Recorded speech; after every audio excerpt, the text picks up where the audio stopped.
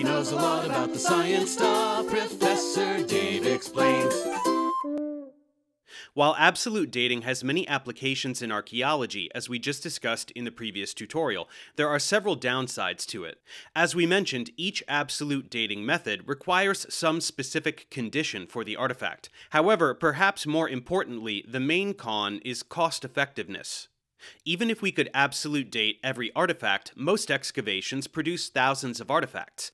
Radiocarbon dating on a single artifact costs anywhere from 250 to $1,000. Radiometric dating of entire sites just isn't viable. Because of this, absolute dating is usually combined with relative dating to make chronologies of sites.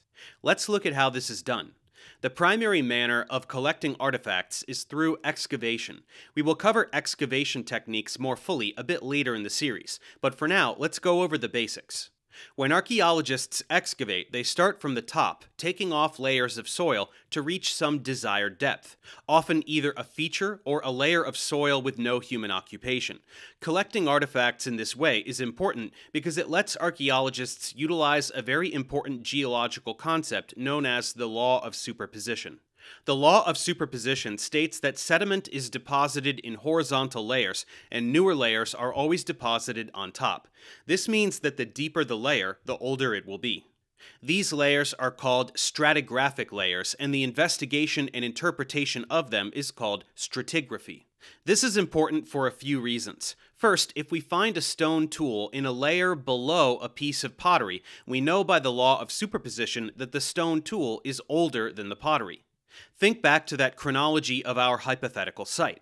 Once again, it went like this Stone tools are made, a temple is constructed, a village is built, the village is burnt, the site is abandoned. What might that have looked like in the ground? In the lowest layers, we find stone tools. On top of those stone tools, we find remains of a temple.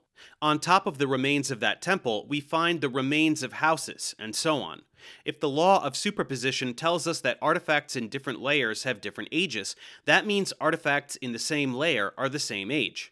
If we find deer bones in the same stratigraphic layer as the stone tools, we know that they date to the same time period as the stone tools. This is where absolute dating methods can be combined with relative dating methods to make accurate and useful site chronologies. Since the deer bones are organic artifacts, radiocarbon dating can be used to give an actual date to the bones. As we just discussed, we know the entire stratigraphic layer containing the deer bones is also that age. Let's say we were given a carbon dated range of 2900 to 3100 BP. We now know several new things about our site. For starters, we know that our site was first inhabited around 3000 years ago, and the people here were making stone tools. By the law of superposition, we also know that the entire rest of the site is younger than 3000 BP. If you were an archaeologist looking at this site, what might your next move be?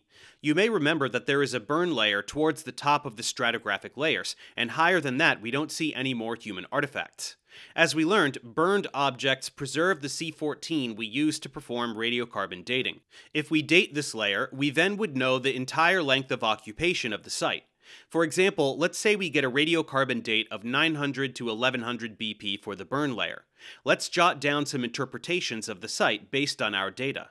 We know this site was occupied from around 3000 BP until around 1000 BP, meaning the site was occupied for a total of 2000 years. Before a permanent population was established at the site, people were using stone tools and eating deer here. After this, a temple was built at the site, and a village grew around it. Eventually, sometime around 1000 BP, the village was burnt and shortly abandoned. We are able to deduce all of this from just a few archaeological principles. This highlights the importance of an artifact being in its original context when excavated. An artifact's context refers to its surroundings. An artifact still in its original stratigraphic layer is called in situ. An artifact removed from its layer without being properly recorded loses its usefulness in dating that artifact and the layer it came from. This is why excavations by non archaeologists cause irreparable damage to a site and the information we can get from it. The other important method of relative dating we will discuss is serialization and creating typologies. Typologies in archaeology are artifacts that have been grouped together based on shared characteristics. Typologies can be made for any artifact or feature and put into typological groups based on chronology, characteristics, artistic style, and other factors. Serialization is the use of typologies in dating artifacts. This is very similar to using index fossils in geology. Suppose in our example site, black pottery has been found throughout the village, but no datable artifacts have been found. However, we can find a typology the black pottery can fit into. This involves looking at typologies of pottery from your region and finding one that matches the characteristics of this pottery. Perhaps a very similar kind of black pottery has been found at nearby sites, so we put our pottery into this typology. This pottery is seen in the archaeological record from 500 to 1800 BP. Since we placed our pottery in the same typology, we can estimate our pottery's age as being from 1000 to 1800 BP, making the full chronology of the site look something like this.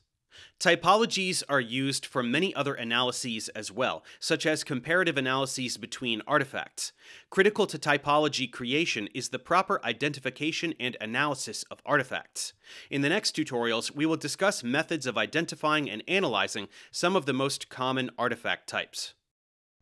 Thanks for watching. Subscribe to my channel for more tutorials. Support me on Patreon so I can keep making content. And as always, feel free to email me, ProfessorDaveExplains at gmail.com.